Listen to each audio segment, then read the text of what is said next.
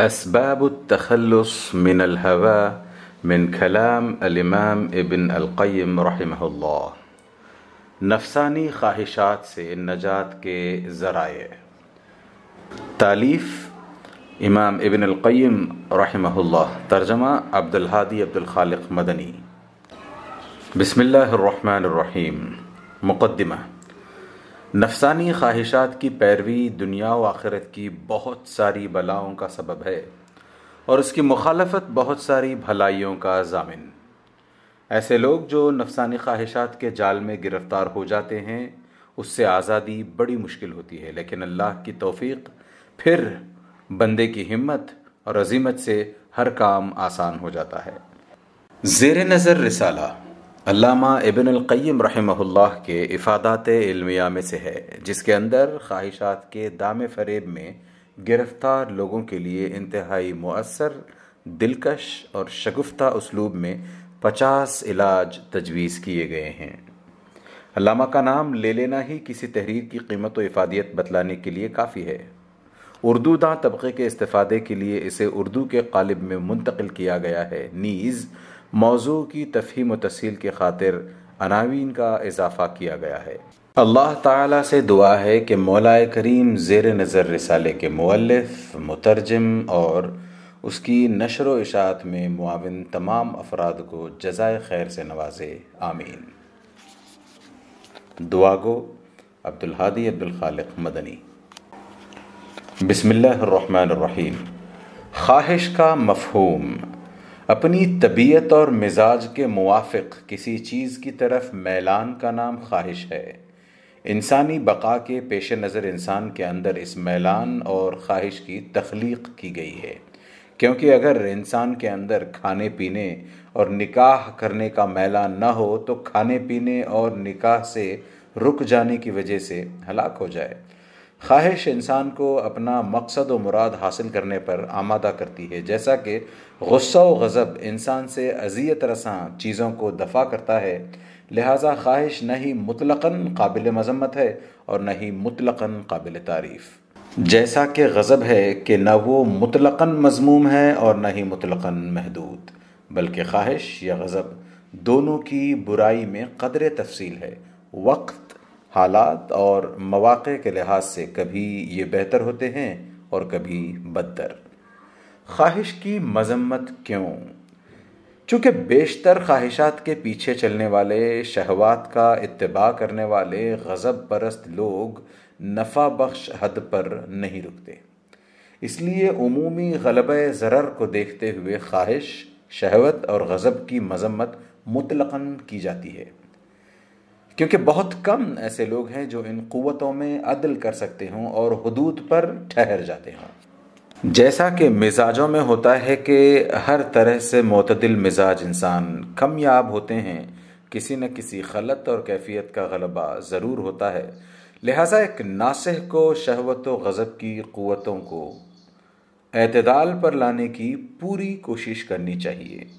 चूँकि ख्वाहिश में अतदाल अफराद आलम की अक्सरियत के लिए नहायत ही दुशवार है, इसीलिए अल्लाह ताला ने कुरान मजीद में जब जब ख्वाहिश का ज़िक्र किया तो उसकी मजम्मत फरमाई और हदीस नबवी सल्लल्लाहु अलैहि वसल्लम में भी इसकी मजम्मत ही आई है। अलबत् जब कोई क़ैद और तखसीस हो तो मामला मुख्तलफ हो जाता है। जैसा कि नबी करीम अलैहि वसल्लम ने फरमाया तुम में से उस वक्त तक कोई मोमिन नहीं हो सकता जब तक कि उसकी ख्वाहिशात मेरी लाई हुई शरीयत के ताबे न हो जाएँ। शरफुसन्ना ये मकुला मशहूर है कि ख्वाहिश गैर महफूज जाए पना है।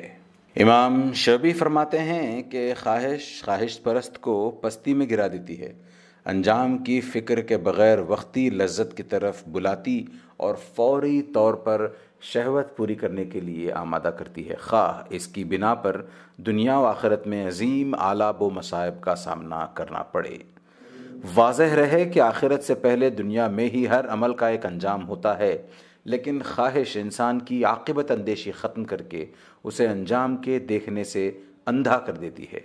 जबकि अक्ल और दीन व मुरवत इंसान को हर ऐसी लज्जत व शहवत से रोकते हैं जिनका अंजाम नदामत व शर्मिंदगी हो और दर्द व अलम हो।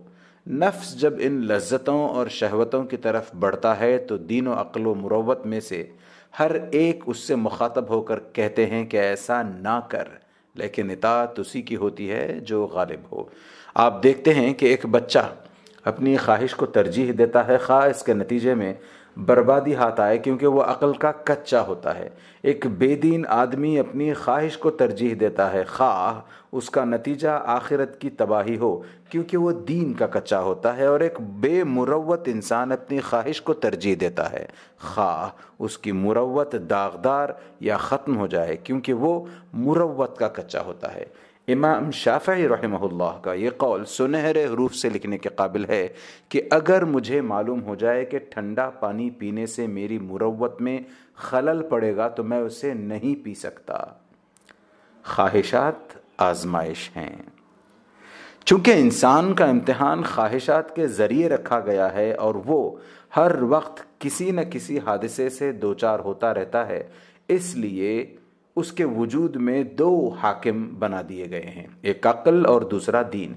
फिर इंसान को हुक्म दिया गया है कि ख्वाहिशात के हवादिस को हमेशा इन दोनों हाकिमों के पास ले जाए और उनके फैसलों पर सर तस्लीम खम करे।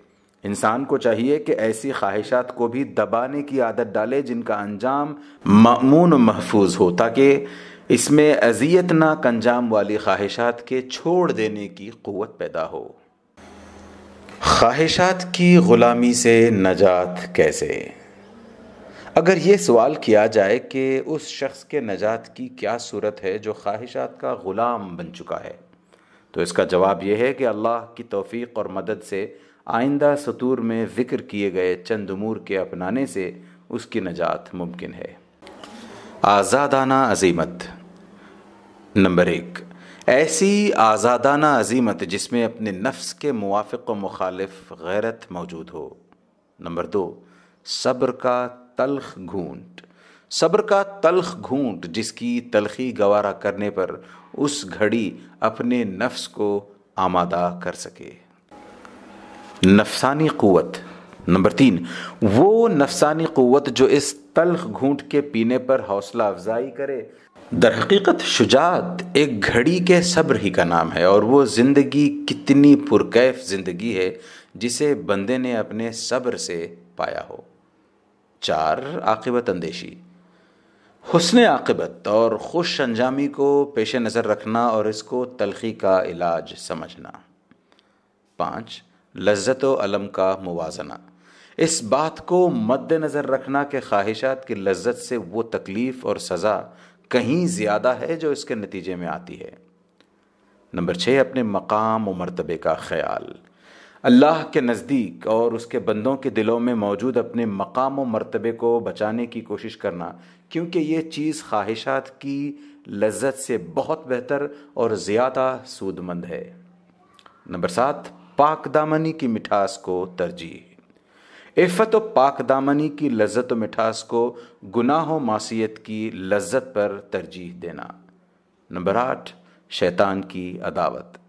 इस बात पर खुश होना कि अपने दुश्मन यानी शैतान पर गलबा हासिल कर लिया और उसे गैज़ व गज़ब और फ़िक्र व गम के साथ नाकाम व नामुराद वापस कर दिया और उसकी उम्मीद और आरज़ू पूरी न हो सकी। मालूम होना चाहिए कि अल्लाह ताला को अपने बंदे से मुतक़ ये बात बहुत पसंद है कि वह अपने दुश्मन की नाक मिट्टी में मिलाए और उसे गुस्सा दिलाए, जैसा कि कुरान मजीद में इरशाद बारी ताला है। बिस्मिल्लाहिर्रहमानिर्रहीम। वला यतऊन मौतियगुल्कुफ़ार वला यनालून मिन अदुव्विन नैलन इल्ला कुतिब लहुम बिही अमलुन सालिह। सूरत तौबा, आया नंबर 120 और जो किसी ऐसी जगह चले जो कुफ़ार के लिए मुजिब गैज़ हो, और दुश्मनों की जो कुछ खबर ली, उन सब पर उनके नाम नेक काम लिखा गया। नीज फरमाया बिहिमुल्कुफ़ार सूरतुल्फ़तह आया नंबर उनतीस, ताकि उनकी वजह से काफिरों को चिड़ आए।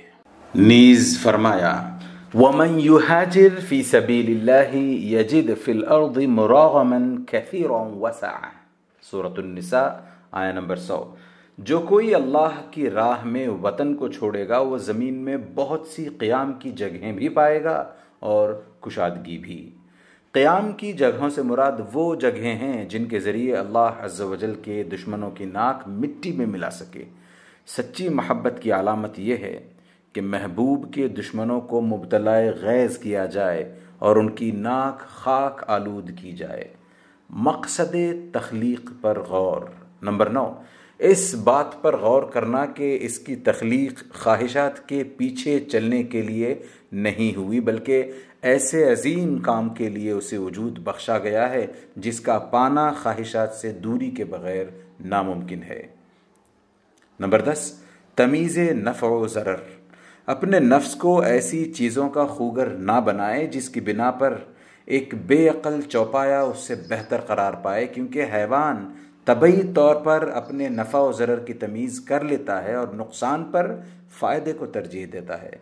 इंसान को इसी मकसद की खातिर अक़ल से नवाजा गया है। अगर वो नफ़ा व ज़र में तमीज़ ना कर सके या तमीज़ व मारफत के बावजूद ज़र को तरजीह दे तो ज़ाहिर है कि एक बेखरद चौपाए की हालत इससे बेहतर करार पाएगी।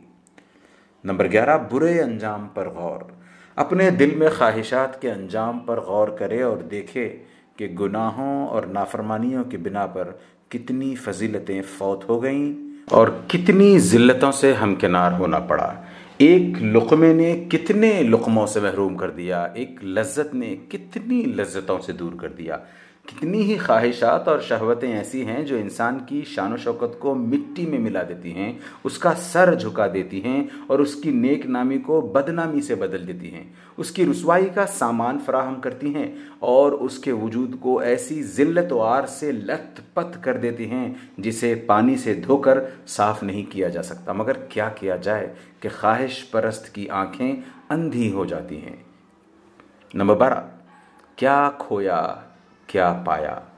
जिससे इसकी ख्वाहिश मुतल है, उससे मकसद की तकमील के बाद का तस्वूर करे और ज़रूरत पूरी होने के बाद अपनी हालत का जायज़ा ले और गौर करे कि उसने क्या खोया और क्या पाया।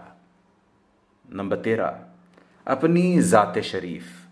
दूसरों के बारे में इस बात का कमा हक तस्वुर करे, फिर अपने आप को उस मकाम पर ले जाए और देखे। क्या दोनों मामले में उसकी अक्ल का फैसला एक ही है? नंबर चौदह, अक्ल दीन का फैसला। अपने नफ्स के मुतालबे पर गौर करे और अपनी अक्ल और अपने दीन से उसके मुतालिक दरियाफ्त करे। ये दोनों इसे बताएँगे कि ये कोई अहम बात नहीं है। अब्दुल्ला इबिन मसरूद रदी अल्लाह फरमाते हैं, जब तुम में से किसी शख्स को कोई औरत अच्छी लगे तो उसकी गंदी और बदबूदार जगहों का ख्याल कर ले। वो बुरी लगने लगेगी। ज़िल्लत से बरतरी। नंबर पंद्रह, ख्वाहिश की ग़ुलामी की ज़िल्लत से अपने आप को बुलंद तस्वुर करे। जो शख्स एक बार भी अपनी ख्वाहिश के पीछे चलता है, लाजमी तौर पर अपने आप में ज़िल्लत महसूस करता है। बंदगान ख्वाहिशात के अकड़फों और किब्र गुरूर से धोखा नहीं खाना चाहिए, क्योंकि वो अंदरूनी तौर पर काफ़ी जलील और पस्त होते हैं, लेकिन अजब अंदाज से ज़िल्लत व गुरूर, यानी एहसास कमतरी व बरतरी, दोनों इनमें यकजा होता है। नंबर सोलह, खैर व शर का मुवाजना। दीनो आबरू और मालो जाह की सलामती एक तरफ़ और मतलूबा लज्जत का हसूल एक तरफ़। दोनों में मुवाजना करे। इन दोनों के दरमियान कतई कोई नस्बत नहीं। उससे बड़ा नादान कौन होगा जो एक उससे बड़ा नादान कौन होगा जो एक के बदले में दूसरे को फरोख्त कर दे? बुलंद हिम्मती नंबर सत्रह। अपने दुश्मन के जेर इकतदार और उसके काबू में रहने से अपने आप को बुलंद तस्वुर करे, क्योंकि शैतान जब बंदे में हिम्मत वजीमत की कमज़ोरी और ख्वाहिशात की तरफ़ झुकाव और मैलान देखता है तो उसको जेर करने की लालच करता है और मौका पाते ही उसे चित कर देता है और ख्वाहिशात की लगाम पहनाकर जहाँ चाहता है ले जाता है। लेकिन शैतान जब बंदे में क़वत वजीमत शर्फ नफ्स और उलू हिम्मत देखता है तो उसकी असीरी का हरीश नहीं होता। अलबत्ता चोरी, चुपके और धोखे से उसे ज़रूर नुकसान पहुँचाने की कोशिश करता है। ख्वाहिश के नुकसान नंबर अठारह, ये बात जहन नशीन रहे कि ख्वाहिश जिस चीज़ में मिल जाती है, उसे बिगाड़ कर रख देती है।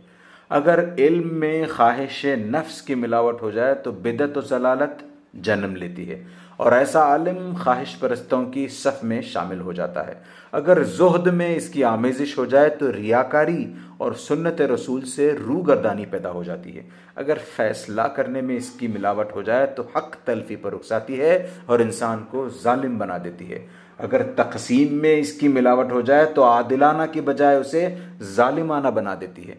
अगर मनासिब की तौलियत माजूली में इसकी मिलावट हो जाए तो इंसान अल्लाह ताला और मुसलमानों की ख़यानत में मुबतला हो जाता है। फिर वो अपनी ख्वाहिश से, अहलियत व सलाहियत को देखे बगैर जिसे चाहता है अहदा व मनसब से नवाजता है और जिसे चाहता है, इससे माजूल कर देता है।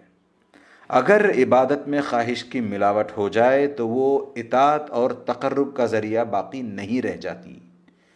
गर्ज़े कि जिस चीज़ में भी ख्वाहिश नफ्स की मिलावट हो जाती है, उसे बिगाड़ के रख देती है।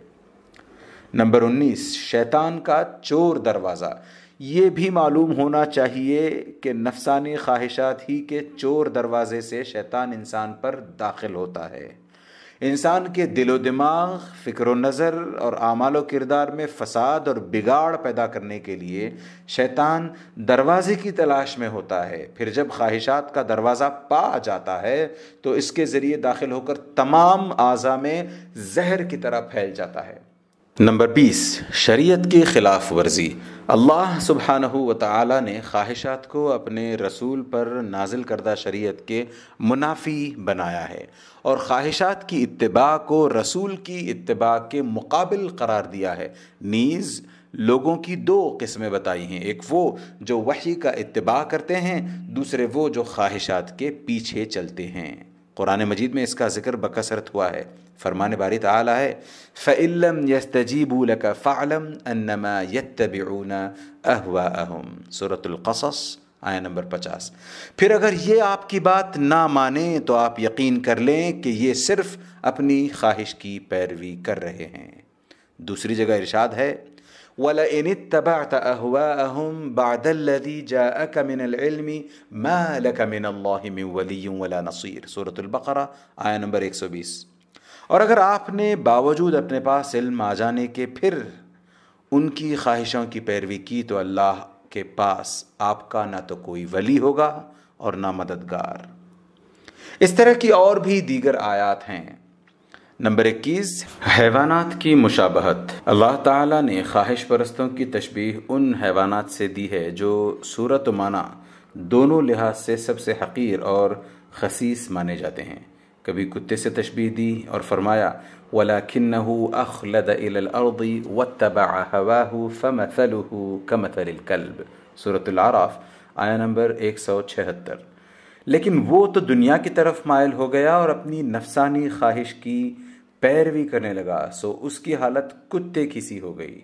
और कभी गधे से तशबीह दी और फरमाया खम मुस्तनफिरा फर्रत मिन कस्बरा सूरतुलमुद्दसिर आया नंबर पचास और इक्यावन। गोया के वो बिदके हुए गधे हैं जो शेर से भागे हों, और कभी अल्लाह ने उनकी सूरतें बंदरों और सुवरों की शक्ल में तब्दील फरमा दी। नंबर बाईस नाअहली वो नालायकी। ख्वाहिश का पैरोकार, क़ियादत व सियादत और इमामत व पेशवाई का अहल नहीं होता, और न ही इस लायक होता है कि उसकी इतात की जाए और बात मानी जाए। इसी नाते अल्लाह ताला ने ऐसे शख्स को इमामत से माजूल फरमाया और उसकी बात मानने से रोका है। अल्लाह ताला ने अपने खलील इब्राहिम आसमाम को मुखातब करके फरमाया, इन्नी जाइलुका लिन्नासी इमामा। कौला वमिन ज़ुर्रियती कौला आया नंबर 124 मैं तुम्हें लोगों का इमाम बना दूँगा। इब्राहिम मर्ज करने लगे, और मेरी औलाद को फरमाया, मेरा वादा जालिमों से नहीं है। यानी ख्वाहिश के पैरोकार सब के सब जालिम हैं, लिहाजा इस वादे के मुस्तक नहीं, जैसा कि अल्लाह ताला ने मजीद फरमाया, बल तबादीन बग़ैर सूरतरूम आया नंबर उनतीस। बल्कि बात यह है कि जालिम तो बग़ैर इल्म के ख्वाहिश के पीछे चल रहे हैं। एक और मकाम पर अल्लाह ताला ने ऐसे लोगों की इतात से मना करते हुए इरशाद फरमाया, वला तुतमन अगफलना कलबहू अन दिक्रिना वतबा हवाहू वखान अमरूहू फ़ुरुता। सूरतुल कहफ, आया नंबर 28 देख, उसका कहना ना मानना जिसके दिल को हमने अपने ज़िक्र से गाफिल कर दिया है और जो अपनी ख्वाहिश के पीछे पड़ा हुआ है और जिसका काम हद से गुजर चुका है। नंबर तेईस, बुत परस्ती।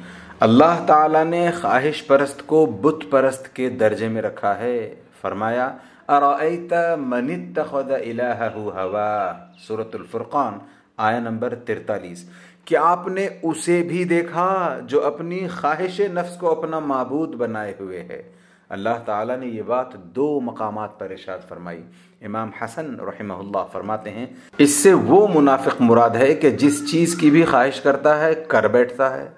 नीज़ ये भी फरमाया कि मुनाफिक अपनी ख्वाहिशात का ग़ुलाम होता है। उसका नफ्स जिस बात की ख्वाहिश करता है, वो करता जाता है। नंबर चौबीस, जहन्नम का बाढ़। नफसानी ख्वाहिशात ही जहन्नम का बाढ़ हैं। उसी से जहन्नम घिरी हुई है, लिहाजा जो नफसानी ख्वाहिशात का शिकार होगा, जहन्नम से दो चार होगा। जैसा कि सहीहैन में नबी करीम सल्लल्लाहु अलैहि वसल्लम का इरशाद है, जन्नत को नापसंदीदा चीज़ों से और जहन्नम को नफसानी ख्वाहिशात से घेर दिया गया है। तिरमिज़ी में अबू हुरर रज़ी अल्लाह से मरफून रिवायत है कि जब अल्लाह ताला ने जन्नत की तख्लीक फरमाई, जबरील अलैहिस्सलाम को ये हुक्म देकर भेजा कि जन्नत को और अहल जन्नत के लिए जो कुछ मैंने उसमें तैयार कर रखा है, उसको देख कर आओ। चुनाचे जब वो जन्नत देख कर वापस हुए तो कहा, तेरी इज़्ज़त की कसम, तेरा जो बंदा इसके बारे में सुनेगा, वो ज़रूर इसमें दाखिल होगा।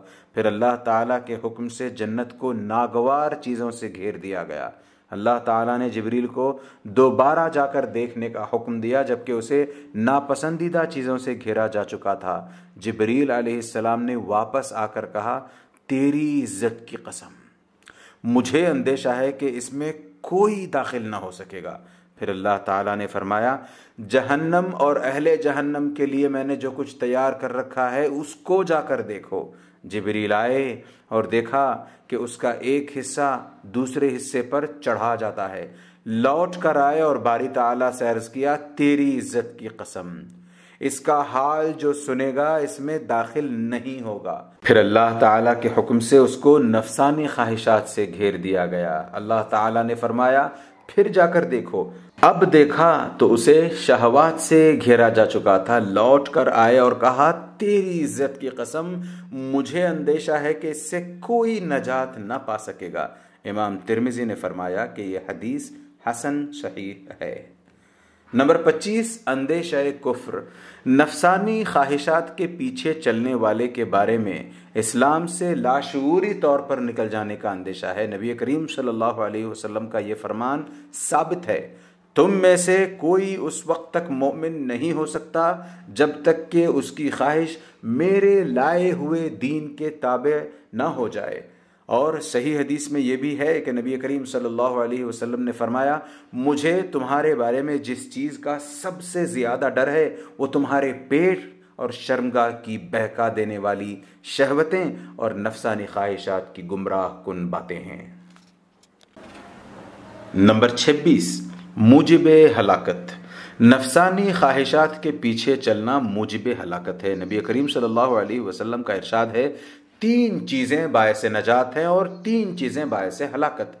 नजात देने वाली पहली चीज़, खुले और छुपे अल्लाह का तकवा है। दूसरी चीज़, खुशी और नाराज़ी, हर हाल में हक गोई है। तीसरी चीज़, फ़कीरी और अमीरी, हर हाल में मयाना रवि है। और हलाक करने वाली पहली चीज़ वो नफसानी ख्वाहिश है जिसकी इतबा की जाए। दूसरी चीज़, वो बुखल है जिसकी बात मानी जाए। और तीसरी चीज़, आदमी की खुद पसंदी है। नंबर सत्ताईस बाय से फतहो जफ़र। नफसानी ख्वाहिश की मुखालफत करने से बंदा अपने जिस्म और दिल ज़बान में क़वत पाता है। बाज़ सलफ़ का कौल है कि अपनी ख्वाहिश पर गलबा हासिल करने वाला उससे भी ज़्यादा ताकतवर है जो तन्हा किसी मुल्क को फ़तह करता है। सही हदीस में नबी करीम सल्लल्लाहु अलैहि वसल्लम का फरमान है, पहलवान वो नहीं जो किसी को पछाड़ दे, बल्कि पहलवान तो वो है जो गुस्से के वक्त अपने आप पर काबू पा ले। आदमी जब जब अपनी ख्वाहिश की मुखालफत करता है, अपनी क़वत में बराबर इजाफा करता जाता है। नंबर अट्ठाईस, अखलाक व मुरवत अपनी ख्वाहिश के ख़िलाफ़ चलने वाला सबसे ज़्यादा बामुरवत इंसान होता है। मुआविया रदी अल्लाह तु फरमाते हैं, ख्वाहिशात को छोड़ देना और हवाए नफ्स की बात न मानना यही मुरवत है। ख्वाहिशात के पीछे चलना मुरवत को बीमार कर देता है। और उसकी मुखालफत मुरवत को इफाका अता करती है और शिफा देती है। नंबर उनतीस, अक्ल और ख्वाहिश की जंग। हर दिन ख्वाहिश और अक्ल बाहम दस्त गरेबा होते हैं। जो जीत जाता है, शिकस्त खुर्दा को भगा देता है और ख़ुद हुकूमत व तसरुफ़ करता है। अबू दरदा रज़ी अल्लाह तु फरमाते हैं, आदमी जब सुबह करता है, उसकी अक्ल और ख्वाहिश इकट्ठा होती है। अगर उसकी अक्ल ख्वाहिश के ताबे हो गई तो वो एक बुरा दिन होता है। और अगर ख्वाहिश अक्ल के ताबे हो गई तो वो एक अच्छा दिन होता है। गलती का इम्कान नंबर तीस। अल्लाह ताला ने ख़ता और इतबा हवा, यानी गलती और ख्वाहिश की पैरवी को एक दूसरे का साथी बनाया है। इसी तरह दुरुस्ती और ख्वाहिश की मुखालफत को एक दूसरे का साथी बनाया है। जैसा कि बाज़ सलफ़ का कौल है, जब तुम्हें दो बातों में शुबा हो जाए कि ज़्यादा सख्त कौन है तो जो तुम्हारी ख्वाहिश के करीब हो, उसकी मुखालफत करो, क्योंकि ख्वाहिश के पीछे चलने ही में गलती का ज़्यादा इम्कान है। नंबर इकतीस, बीमारी और इलाज। ख्वाहिश बीमारी है और उसका इलाज, उसकी मुखालफत है। किसी आरिफ का कौल है, अगर तुम चाहो तो तुमको तुम्हारा मर्ज बता दूँ, और अगर चाहो तो उसकी दवा भी बता दूँ। नफसानी ख्वाहिश तुम्हारा मर्ज है। उसको छोड़ देना और उसकी मुखालफत करना उसकी दवा है। बशर हाफी फरमाते हैं, सारी बलाएँ नफसानी ख्वाहिशात की बिना पर हैं और सारा इलाज उसकी मुखालफत में है। नंबर बत्तीस, जिहाद। ख्वाहिशात से जिहाद अगर जिहाद कुफ़ार से बढ़कर नहीं तो उससे कमतर भी नहीं है। एक शख्स ने हसन बसरी से कहा, ए अबू सईद, कौन सा जिहाद अफजल है? फरमाया, ख्वाहिशात नफसानी से जिहाद करना। शेख़ुलस्लाम इबन तैमिया रहमहुल्लाह फरमाते हैं, नफ्स और ख्वाहिश से जिहाद कुफ़ार मुनाफिकीन से जिहाद की बुनियाद है, क्योंकि उनसे उस वक्त तक कोई जिहाद नहीं कर सकता जब तक कि उनकी तरफ़ निकलने के लिए अपने नफ्स और ख्वाहिश से जिहाद न करे। नंबर तैतीस। मर्ज बढ़ता गया। ख्वाहिश बीमारी को बढ़ा देने वाली चीज़ है और उसकी मुखालफत परहेज़ है। ऐसा शख्स जो मर्ज बढ़ाने वाली चीज़ का इस्तेमाल करे और परहेज से दूर रहे, उसके अंजाम के बारे में ख़तरा यही है कि बीमारी उसे दबोच लेगी। नंबर चौंतीस, महरूमी वो बेतौफ़ीकी। ख्वाहिशात की इतबा से तोफ़ी के दरवाज़े बंद हो जाते हैं और महरूमी के दरवाज़े खुल जाते हैं। आप देखेंगे कि ऐसे लोग अपनी ज़बान से कहते रहते हैं कि अगर अल्लाह ने तोफ़ी दी तो ऐसा और ऐसा कर गुज़रें। मगर ख्वाहिशात की इतबा करके उन्होंने अपने लिए तोफ़ी के रास्ते मसदूद कर लिए हैं। फ़ुज़ैल इबन अयाज़ का कौल है, जिस शख्स पर शहवत और ख्वाहिश गालिब आ जाती है तोफ़ी उससे मुनक़ हो जाती है। किसी आलिम का कौल है कि कुफ्र चार चीज़ों में है, गज़ब, शहवत लालच और खौफ में। फिर फरमाया कि दो को मैंने अपनी आँखों से देखा। एक शख्स गुस्से में आया और उसने अपनी माँ को कत्ल कर डाला। दूसरा शख्स मुबतला इश्क होकर नसरानी हो गया। नंबर पैंतीस, फसाद अक्ल खिरद। जो आदमी अपनी ख्वाहिशात को तरजीह देता है, उसकी अक्ल फासद और राय बिगड़ जाती है। इसलिए कि अपनी अक़ल के मामले में उसने अल्लाह की ख़यानत की तो अल्लाह ने उसकी अक़ल को फासद कर दिया।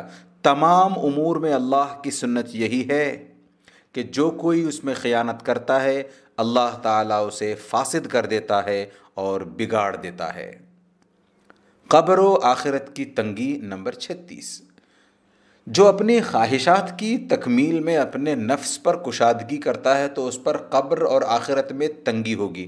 उसके बरखिलाफ़ जो नफ्स की मुखालफत करे, उस पर तंगी करता है और उसकी कब्र और आखिरत में उस पर फराखी होगी। अल्लाह ताला ने अपने इस फरमान में इसी तरफ़ इशारा किया है। व जज़ा हम बिमा सबरू जन्नत व हरीरा। सूरतुद्दहर, आया नंबर बारह। और उन्हें उनके सब्र के बदले जन्नत और रेशमी लिबास सता फरमाए। चूँकि सब्र, जो कि ख्वाहिशात से नफ्स को रोकने का नाम है, उसमें खुरदरापन और तंगी है, इसलिए बदले में नरम व गुदाज रेशम और जन्नत की वसात अता फरमाई। अबू सुलेमान दारानी रहमहुल्लाह ने इस आयत की तफसीर में फरमाया, शहवतों से सब्र करने पर यह बदला अता फरमाया। नंबर सैंतीस, रुकावट। नफसानी ख्वाहिशात क़यामत के दिन नजात याफ्ता बंदों के साथ उठकर दौड़ने से रुकावट बन जाएँगे। जिस तरह दुनिया में उनका साथ देने में रुकावट बने हुए हैं, मोहम्मद इबिन अबी अल वर्द का कौल है कि अल्लाह ताला ने एक दिन ऐसा बनाया है जिसकी मुसीबत से ख्वाहिशात के पीछे चलने वाला नजात नहीं पा सकता। क़यामत के दिन जो शख्स सबसे देर से उठेगा, वो शहवतों का पटखा हुआ होगा। अकलें जब तलब के मैदान में दौड़ती हैं तो सबसे ज़्यादा हिस्से की मुस्तक वो होती है जिसके पास सबसे ज़्यादा सब्र हो। अकल मादन है और फ़िक्र उस मादन से ख़जाने निकालने का आला है। नंबर अड़तीस, अजायम की पस्ती। ख्वाहिशात की ग़ुलामी अजायम की पस्ती और कमज़ोरी का सबब है और उसकी मुखालफत अजायम को मजबूती और ताकत अता करती है। अज़म वो सवारी है जिसके ज़रिए बंदा अल्लाह और आखिरत की तरफ़ सफ़र करता है। अगर सवारी ख़राब हो जाए तो मुसाफिर की मंजिल बहुत दूर हो जाती है। यहिया इबन मुआद से दरियाफ्त किया गया। अज़म के अतबार से सही तरीन इंसान कौन है? फरमाया वो जो अपनी ख्वाहिशात पर गालिब आ जाए। नंबर उनतालीस, बदतरीन सवारी। ख्वाहिश परस्त की मिसाल उस घुड़सवार की सी है जिसका घोड़ा निहायत तेज रफ्तार, बेकाबू, सरकश और बेलगाम हो। दौड़ने के दौरान अपने सवार को पटख दे या किसी हलाकत के मकाम पर पहुँचा दे। एक आरिफ का कलाम है, जन्नत को पहुँचाने वाली सबसे तेज रफ्तार सवारी दुनिया से बेरगबती है और जहन्नम तक पहुँचाने वाली सबसे तेज रफ्तार सवारी ख्वाहिशात की मोहब्बत है। ख्वाहिशात का सवार हलाकतों की वादी में निहायत तेज़ी के साथ पहुँच जाएगा। एक दूसरे आरिफ का कलाम है कि सबसे ज़्यादा साहिब शर्फ वो आलिम है जो अपने दीन की हिफाजत के लिए दुनिया से भागे और ख्वाहिशात के पीछे चलना उसके लिए दुशवार हो। अता फरमाते हैं, जिसकी ख्वाहिश उसकी अकल पर और बेकरारी उसके सब्र पर गालिब आ जाए, वो रसवा हो जाएगा। नंबर चालीस, तोहीद की ज़िद तोहीद और नफसानी ख्वाहिश का इतबा एक दूसरे की ज़िद है। नफसानी ख्वाहिश एक बुत है और हर ख्वाहिश परस्त के दिल में उसकी ख्वाहिश के मुताबिक बुत मौजूद हैं। अल्लाह ताला ने अपने रसूलों को इसीलिए भेजा कि वो बुतों को तोड़ें और एक अल्लाह वहदहुल्ला शरीक की इबादत का गलगला बुलंद करें।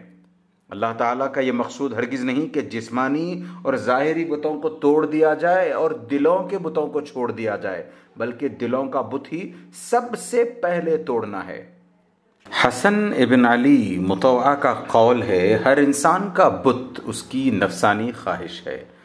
जिसने ख्वाहिशात की मुखालफत करके उस बुत को तोड़ दिया, वही जवान कहलाने का मुस्तक है। इब्राहिम खलील्लाम ने अपनी कौम से जो बात कही थी, ज़रा उस पर गौर करो। फरमाया महवी तमासीरती अनथुम लहा आकिफून। आया नंबर बावन। ये मूर्तियाँ क्या हैं जिनके तुम मुजावर बने बैठे हो? उनकी बात उन बुतों पर किस कदर फिट आती है जिन्हें ख्वाहिशात की शक्ल में इंसान दिल में बिठाए होता है। उनमें मुनहमिक रहता है और अल्लाह को छोड़कर उनकी परस्तिश करता है। अल्लाह ताला का इरशाद है अरअयत मन वकीला। अम तहसब अन अक्सरहुम यसमाऊन औ याकिलून। इनहुम इल्ला कल अनआमी बल हुम अदल्लु सबीला। सूरतुल फुरकान, आया नंबर तिरतालीस और चवालीस। क्या आपने उसे भी देखा जो अपनी ख्वाहिश नफ्स को अपना मबूद बनाए हुए है? क्या आप उसके ज़िम्मेदार हो सकते हैं? क्या आप उसी ख्याल में हैं कि उनमें से अक्सर सुनते या समझते हैं? वो तो निरे चौपायों जैसे हैं, बल्कि उनसे भी ज़्यादा भटके हुए। नंबर इकतालीस, बीमारियों की जड़। ख्वाहिश की मुखालफत से दिल और बदन की बीमारियाँ ख़त्म हो जाती हैं। जहाँ तक दिल की बीमारियों का मामला है तो वो सारी की सारी ख्वाहिश परस्ती ही का नतीजा होती हैं। और अगर आप तहकीक करें तो मालूम होगा कि बेशतर जिस्मानी बीमारियों की वजह भी यही होती है कि किसी चीज़ के छोड़ देने के अकली फ़ैसले पर ख्वाहिश नफ्स को तरजीह दी जाती है।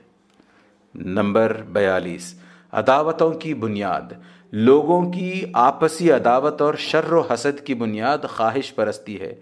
जो शख्स ख्वाहिश परस्ती से दूर होता है, वो अपने कल्ब, जिगर और जिस्म आज़ा को राहत पहुंचाता है। खुद भी आराम में होता है और दूसरों को भी उससे आराम होता है। अबू बकर वर्राक का कौल है। जब ख्वाहिश गालिब आ जाती है, दिल को तारीख कर देती है। जब दिल तारीख होता है तो सीना तंग हो जाता है। जब सीना तंग हो जाता है, अखलाक बुरे हो जाते हैं। जब अखलाक बुरे हो जाते हैं तो मखलूक उसे नापसंद करने लगती है और वो भी दूसरों को नापसंद करने लगता है। और जब नौबत इस बाहमी बगज़ अदावत तक पहुँच जाती है तो उसके नतीजे में इंतहाई शर्र फसाद और तर्क हकूक़ वगैरह पैदा होता है। नंबर तिरतालीस एक ही फातह। अल्लाह ताला ने इंसान में दो क़ुवतें पैदा फरमाई हैं, एक ख्वाहिश और दूसरी अक्ल। इन दोनों में से जब एक क़वत नुमाया होती है तो दूसरी क़ुवत छिप जाती है। अबू अली सक़फ़ी का कौल है, जिस पर ख्वाहिश का गलबा होता है, उसकी अकल छिप जाती है। भला उसका अंजाम क्या होगा, जिसकी अकल गायब हो और बेअली ज़ाहिर हो? अली इबिन सहल का कौल है, अक्ल और ख्वाहिश बाहम लड़ते हैं। तौफीक अक्ल के साथ होती है और महरूमी ख्वाहिश के साथ। नफ्स इन दोनों के बीच होती है, इनमें से जिसकी फतह होती है, नफ्स उसी के साथ हो जाती है। नंबर चवालीस। शैतान का हथियार।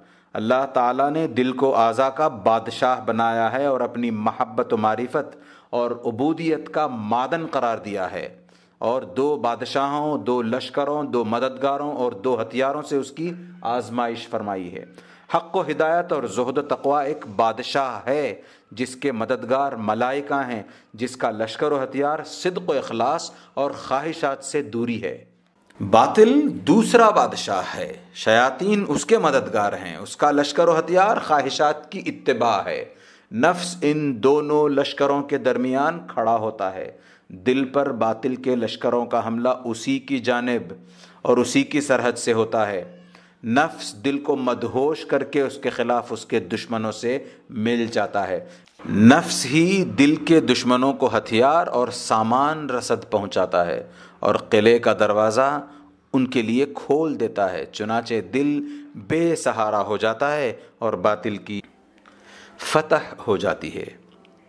सबसे बड़ा दुश्मन, नंबर पैंतालीस, इंसान का सबसे बड़ा दुश्मन उसका शैतान और ख़ुद उसकी अपनी ख्वाहिश है।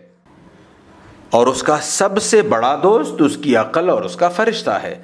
जब इंसान अपने ख्वाहिश की पैरवी करता है और हवाए नफ्स का असीर हो जाता है और अपने दुश्मन को खुश होने का मौका देता है तो उसका दोस्त और महबूब इस बात को नापसंद करता है। यही वो चीज़ है जिससे अल्लाह के नबी सल्लल्लाहु अलैहि वसल्लम पनाह मांगा करते थे। आप फरमाते, अल्लाहुम्मा इन्नी आउदुबिक मिन जहदिल बलाई व दरक शिकाई व सूइल क़दाई व शमाततिल आदाई अल्लाह, मैं तेरी पनाह चाहता हूँ सख्त बला से और बदबख्ती आने से और बुरी क़ज़ा से और दुश्मनों की खुशी से। नंबर छियालीस, आगाज़ व अंजाम। हर इंसान का एक आगाज़ और एक अंजाम होता है। जिसका आगाज़ ख्वाहिश की इत्तबा से होगा, उसका अंजाम ज़िल्लत हकारत, महरूमी और बलाएँ होंगी। जिस कदर वो अपनी ख्वाहिश के पीछे चलेगा, उसी कदर दिली अजाब में मुबतला रहेगा। किसी भी बदहाल शख्स पर आप गौर करेंगे तो मालूम होगा कि उसका आगाज़ ये था कि वो अपनी ख्वाहिशात के पीछे चलता रहा और अपनी अक़ल पर उसे तरजीह देता रहा। उसके बरखिलाफ जिस शख्स की इब्तदा अपनी ख्वाहिशात की मुखालफत और अपनी सूझबूझ की इतात से होगी, उसका अंजाम, इज़्ज़ शर्फ, जाहो इकतदार और मालो दौलत होगा। लोगों के नज़दीक भी और अल्लाह के नज़दीक भी। हर जगह उसका एक मकाम होगा। अबू अली दक्काक का कौल है कि जो अपनी जवानी में अपनी ख्वाहिशात पर काबू रखता है, बुढ़ापे में अल्लाह ताला उसे इज़्ज़त तता फरमाता है। महलब इबिन अबी सफ़रा से पूछा गया कि आप इस मकाम पर किस तरह पहुँचे? फरमाया, होश व खरद की इतात करके और ख्वाहिशात की नाफरमानी करके। ये तो दुनिया का आगाज़ व अंजाम है, आखिरत का भी यही मामला है कि ख्वाहिश की मुखालफत करने वालों के लिए अल्लाह ने जन्नत बनाई है और उसके पीछे चलने वालों के लिए जहन्नम तैयार कर रखी है। नंबर सैतालीस, पाँव की बेड़ियाँ। नफसानी ख्वाहिशात दिल की ग़ुलामी, गले का तोक और पाँव की बेड़ियाँ हैं। ख्वाहिश परस्त हर बद किरदार का ग़ुलाम होता है। लेकिन ख्वाहिश की मुखालफत करते ही उसकी ग़ुलामी से निकलकर आज़ाद हो जाता है। गले का तोक और पाँव की बेड़ियाँ निकाल फेंकता है।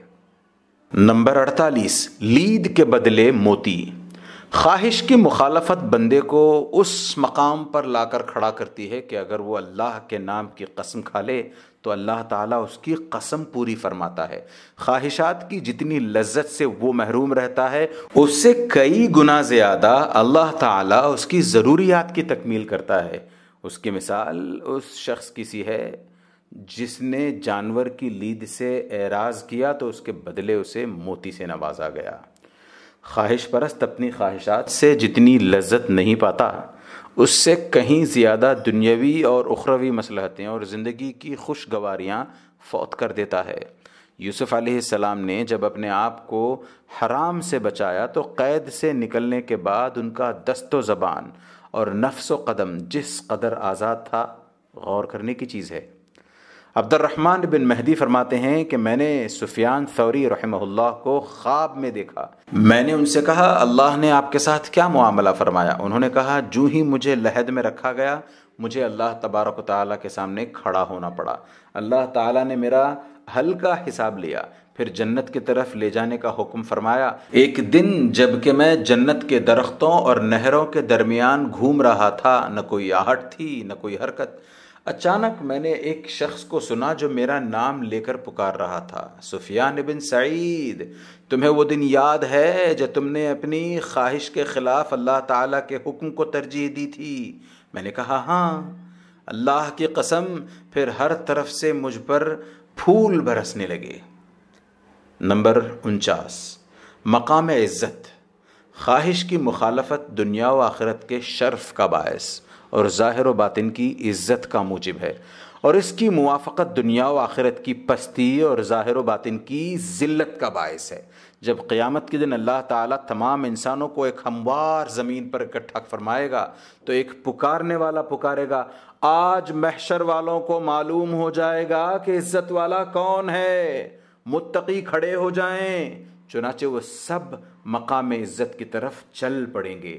ख्वाहिशात की इतबा करने वाले सरों को झुकाए हुए, ख्वाहिशात की गर्मी, उसके पसीने और उसकी तकलीफ़ों में परेशान होंगे, जबकि मुत्तकी अरश के साय में होंगे। नंबर पचास, अरश इलाही का साया। अगर आप उन सात लोगों के बारे में गौर करें जिन्हें अल्लाह ताला उस दिन अर्श का साया नसीब फरमाएगा, जब उसके साय के सिवा कोई दूसरा साया ना होगा तो आपको मालूम होगा कि उनको अर्श का साया ख्वाहिशात की मुखालफत की बिना पर हासिल हुआ है। एक हाकिम जो मज़बूत, इकतदार और मुस्तहकम सल्तनत का मालिक हो, अपनी ख्वाहिशात की मुखालफत किए बगैर अदल नहीं कर सकता।